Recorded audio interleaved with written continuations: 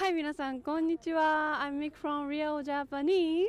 皆さん、日本の秋といえば何ですか？そうです。紅葉です。ということで私は今日京都に来ました。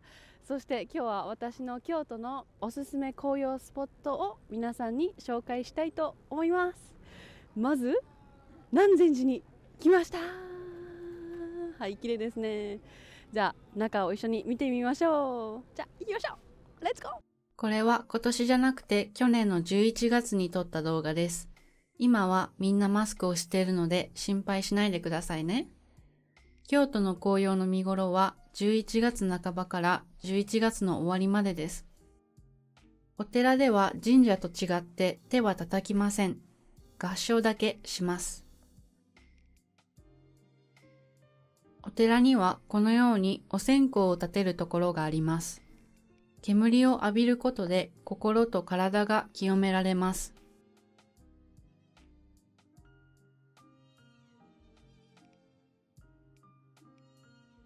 熱っ 体の調子が悪いところに当てると治りが早くなると言われています。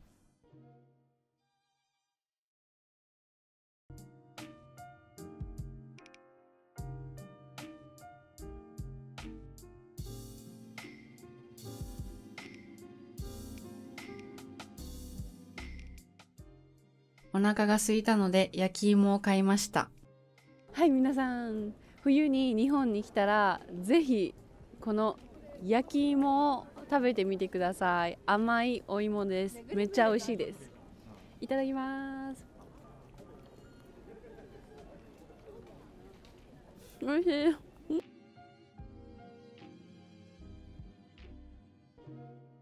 今から東福寺というお寺に行きます。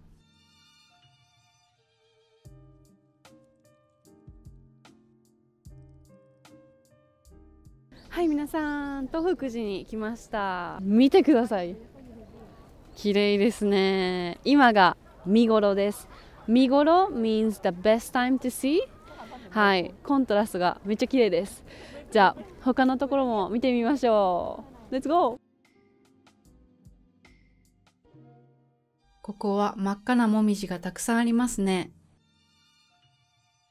皆さんは秋に日本に来たことがありますか？春の桜もいいけど、秋の紅葉もすごく綺麗ですよ。今年はコロナでほとんどの人が日本に来られなかったけど、来年皆さんが日本に来られることを本当に願っています。それまで一緒に日本語の勉強を頑張りましょう。短いリスニングを聞いてくださってありがとうございました。またね。